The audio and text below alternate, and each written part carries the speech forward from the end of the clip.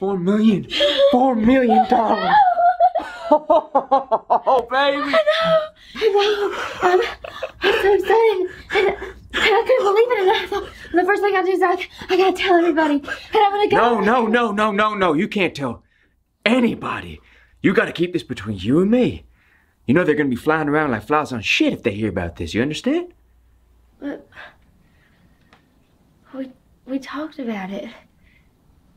But technically, we bought it together, like, like as a workplace. No, no, no, no, no, no, no, no way. You're the one who bought it.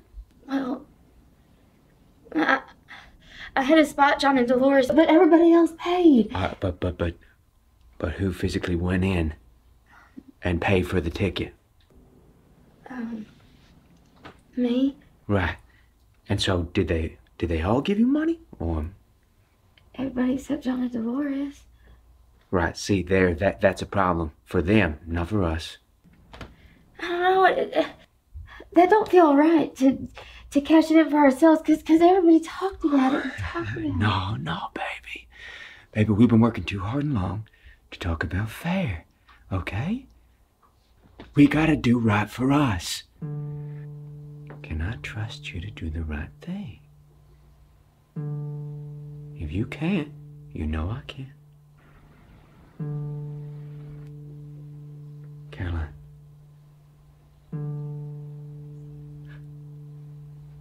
Where's the ticket? Where's the ticket, baby?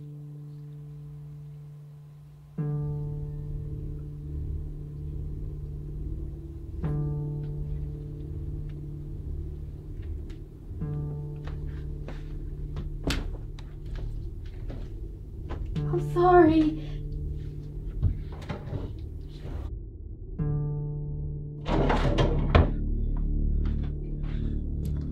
I'm gonna cut your goddamn throat right now. If you don't bring me that ticket, I will do something I do not want to do.